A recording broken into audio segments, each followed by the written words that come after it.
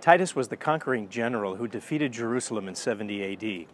This arch that I'm standing in front of commemorates that victory over Jerusalem. Now, one of the reasons that's important is because of some of the depictions that are inside of this arch. In fact, what's in this arch should be a faith builder for all of us. Inside of the arch, it depicts the Romans carrying items away from Jerusalem. Items like the menorah, the candlestick, the golden candlestick from the temple. It also shows the silver trumpets. It shows other accoutrements from the temple that the Romans carried away in that great victory. Now, one of the reasons it's a faith builder is because of what Jesus prophesied about the destruction of Jerusalem and the temple. And here we can find that example in Luke chapter 21. It says, Some spoke of the temple to Jesus. This is, of course, before the destruction, Luke 21 5.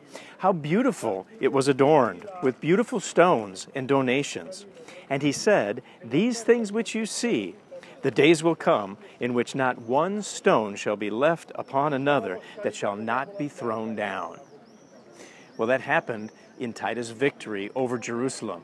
In fact, we have the proof of fulfilled prophecy in Christ that should build our faith. We have the proof in these items that were carried away that the temple was real, the candlestick was real, the trumpets were real. These were real things. They're not a made up myth. And so those things should be a faith builder. In fact, look it up online. You can see those pictures on a website. Look up the Arch of Titus, and you'll see those, those beautiful things that were taken from the temple.